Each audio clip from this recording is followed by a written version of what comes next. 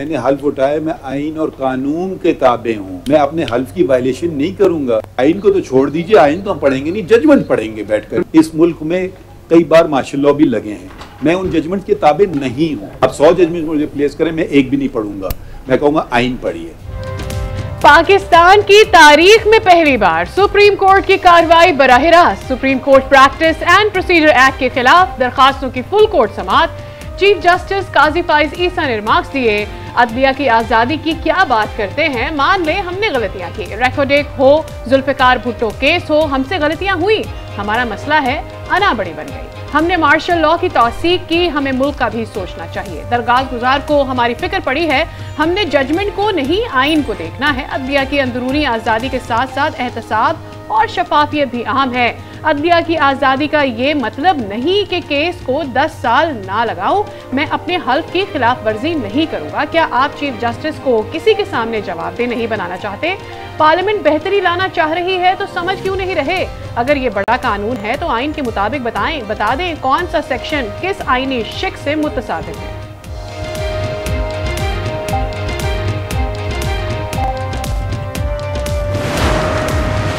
Chief justice का इख्तियार दो सीनियर जजेस के साथ बांट दिया गया। इख्तियार बांटने से कौन सा बुनियादी हक मुतासर हुआ? जस्टिस अथर मिनल्ला के रिमार्क्स कहा, पार्लियामेंट का ये इकदाम अदलिया की आज़ादी को मज़बूत बनाएगा। चीफ जस्टिस ने दो सीनियर जजेस से ही मुशावरत करना है। जस्टिस मंसूर शाह ने कहा कि अदलिया की आज़ादी खतरे में पड़ने वाली कोई बात नहीं। कानून कानून पार्लियामेंट से ही आता है। Practice and procedure act supreme court को मज़बूत बनाता है। बाहर की दुनिया में बेंच चीफ जस्टिस नहीं बनाता। बेल्ट के ज़रिए बेंचेस की तश्कील का मामला तय पाता है।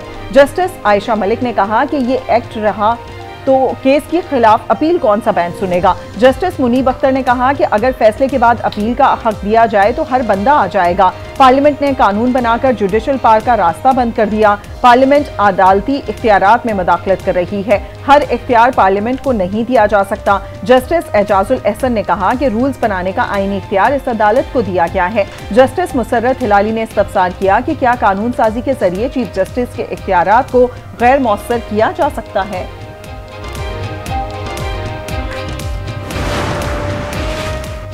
पार्लियामेंट के पास कानून साजी का इख्तियार आइन से मशरूत है। प्रैक्टिस एंड प्रोसीजर का इख्तियार सुप्रीम कोर्ट को दिया गया। बेंचेस से मुतलिक फैसला सुप्रीम कोर्ट के करने का है। सुप्रीम कोर्ट के तमाम जजेस बैठ कर रूल्स बनाते हैं। ख्वाजा तारिक रहीम के दलाइल। कहा यह दरखास्त अवामी मफाद में लाई गई अंदरूनी मामला में मुदाखलत होगी तो ये सुप्रीम कोर्ट नहीं रहेगी। इम्तियाज़ सिद्दीकी ने कहा, खिलाफ आइन कानून साजिश से बुनियादी हकूक मुतासर होते हैं। अटर्नी जनरल मंसूर उस्मान अवान कहते हैं, ये दरखास्तें नाकाबिल समात हैं। कानून एक अहदे के इख्तियार से मुतलिक है। यह कानून अदलिया को मजीद जमहूरी इकतदार का हामिल बनाता है। कानून से इदारे में जमहूरी तौर पर शफाफियत आएगी।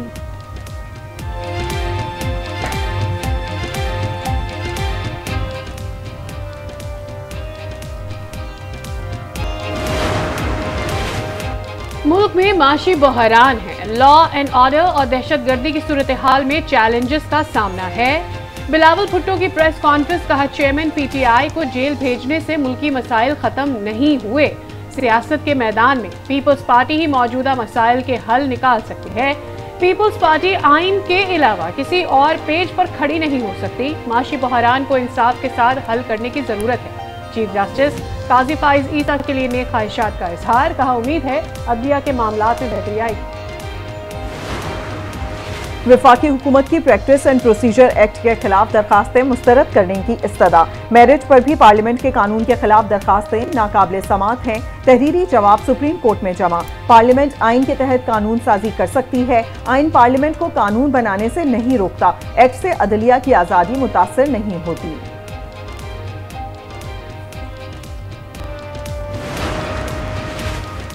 चीफ जस्टिस काजी फाइजिसा की सुप्रीम कोर्ट आमद शानदार इस्तकबाल किया गया। रजिस्ट्रार ने गुलदस्ता पेश किया। चीफ जस्टिस का गार्ड ऑफ़ ऑनर और बुलेट प्रूफ गाड़ी लेने से इनकार। अदालत आते हुए कोई रूट भी नहीं लगाया गया। पुलिस को अपनी जिम्मेदारियाँ दिलजमी से अदा करने की हिदायत। स्टाफ का शुक्रिया अदा किया। कहा, आपका बहुत ताउन चाहिए। लोग अपने मसाइल ख़त्म करने के लिए सुप्रीम कोर्ट आते हैं। उनसे मेहमान जैसा सलूक करें। इंसाफ के दरवाजे खुले और हमवार रखें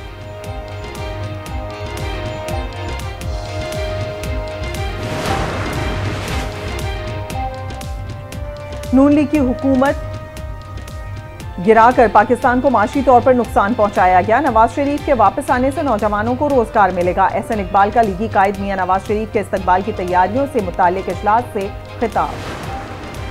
जुडिशल कॉम्प्लेक्स तोड़फोड़ केस परवेज इलाही का एक रोजा राहदारी रिमांड मंजूर। एंटी करप्शन पंजाब के हवाले कर दिया गया। सदर पीटीआई को इंसदादी दहशतगर्दी अदालत इस्लामाबाद में पेश किया गया। जज अबुल हसनाज जुलकरनैन ने रिमार्क्स में कहा परवेज इलाही की कब जान छूटेगी? वकील सफ़ाई ने बताया, कभी किसी शहर और कभी किसी शहर चक्कर लगवा रहे हैं। परवेज इलाही ने कहा, कल इस्लामाबाद से मुझे वापस लाहौर ले गए, फैमिली से मुलाकात भी नहीं करवाई।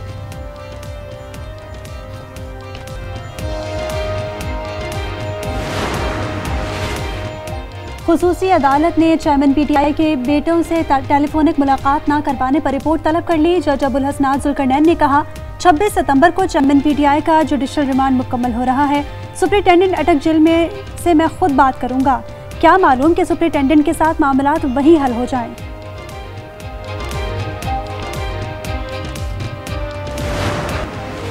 निगरान वज़ीर आज़म अनवारुल हक काकर का पाँच रोजा दौरा अमरीका अकवाम मुतहदा की जनरल असम्बली के अठहत्तरवें इजलास में शिरकत करेंगे। जनरल असम्बली की साइड लाइन पर आलमी रहनुमाओं से मुलाकातें होंगी। अनवारुल हक काकर ने कहा कि आलमी माहौलियाती चैलेंजेस पर आलमी रहनुमाओं से बातचीत करूँगा। बैन अवी मीडिया और थिंक टैंक से तबादला ख्याल भी होगा।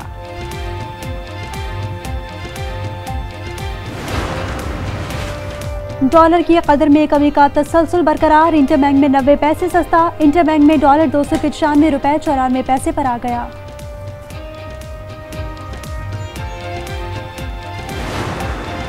कराची में पेट्रोल की कीमतों में इजाफे पर वकील का अनोखा एहतजाज एडवोकेट खालिद महमूद साइकिल पर मलिर कोर्ट पहुँच गए। कहा, गरीब और दिहाड़ीदार तबका परेशान है कि घर का किराया दे या पेट्रोल डलवाए, वकला भी परेशान हैं।